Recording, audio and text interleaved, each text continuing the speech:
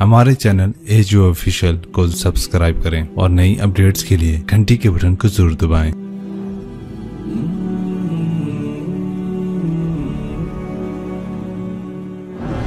और फरमाया कि बेहयाई से बचो, बेगैरती, जिस मुआरे में बेहयाई बेहयाई आती है, जिना आता है। जिना आता है, नस्ल तबाह बर्बाद हो जाती ख़ानदान टूट जाता है, ख़ानदान बिखर जाता है। हमारे मसाइल और हैं। हमारी परेशानी, हमारी बदयांती, खूट, झूठ की वजह से। कुछ ना कुछ हमारा फैमिली सिस्टम फिर भी मौजूद है, लेकिन यूरोप तबाह हो चुका है, मगरबी मुल्क तबाह हो चुके हैं, कि उनका फैमिली सिस्टम टूट चुका है। वहाँ ना कोई माँ है, ना कोई बाप है, ना कोई भाई है, ना कोई बहन है, ना कोई बेटी है, ना कोई बीवी है। वो इंतहाई करब का शिकार है। मुझे डॉक्टर मिला, मैं अमेरिका से आया हुआ था, रायमंड मिला। मैंने कहा, तुम किस चीज़ के डॉक्टर? मैं बच्चों का डॉक्टर हूँ, नफसियाती मरीज़। मैंने कहा, है? बच्चे भी नफसियाती मरीज़ होते हैं? कहा, इतने मरीज़ हैं कि मेरी लिस्ट छः महीने बाद डेट मिलती है। मेरी लिस्ट में छः माह बाद उसका नंबर आता है, इतने मरीज़ हैं लाइन। मैंने कहा, उसकी क्या वजह है? कहा, माँ बाप नहीं है। बाप तो होता ही नहीं है, बॉयफ्रेंड है, जब वो हमल होता है, वो छोड़ के भाग जाता वो किसी और लड़की को ले लेता। अकेली लड़की बच्चा जानती है, फिर उसने जॉब करनी है, अपना घर चलाना है तो बच्चों को छोड़ती है। वहाँ वो केयरिंग बने हुए हैं हाउस जहाँ ये पूरा कारोबार है कि बच्चों को वहाँ छोड़ कर चले जाओ। वहाँ बच्चे के पास माँ नहीं है, बाप नहीं है, बहन नहीं है, भाई नहीं है।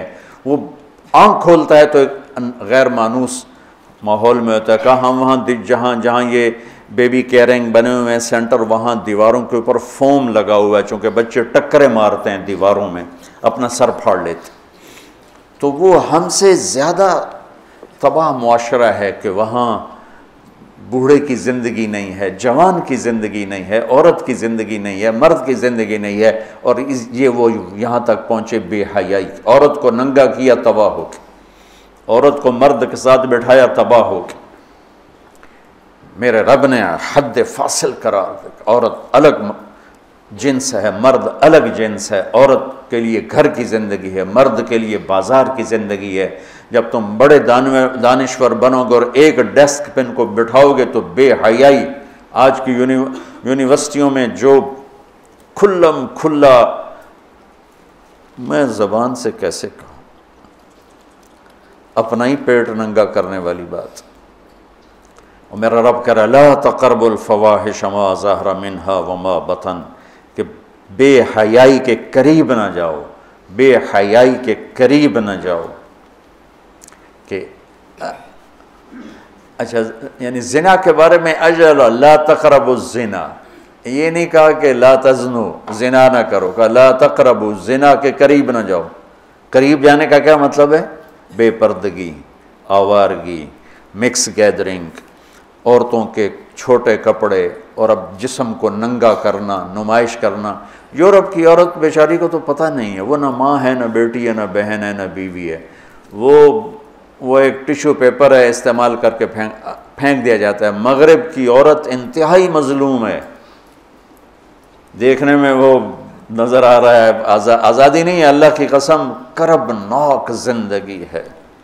करबनाक जिंद उस लड़की का क्या हल होगा जो 11 साल की उम्र में अपना खामन ढूंढना शुरू करे?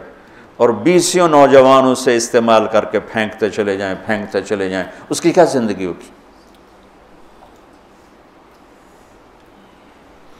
और उस नौजवान की क्या ज़िंदगी हो जो जो बीवी की तलाश में धक्के खा खा खा खा मर जाए और उसे कोई वफादार लड़की ना मिले। औरत को शोहर नहीं मिलता, मर्द को बीवी नहीं मिलती। तो इसलिए वहाँ की नस्ल घट गई है। तो मेरा रब कहता है, ला तकरबू।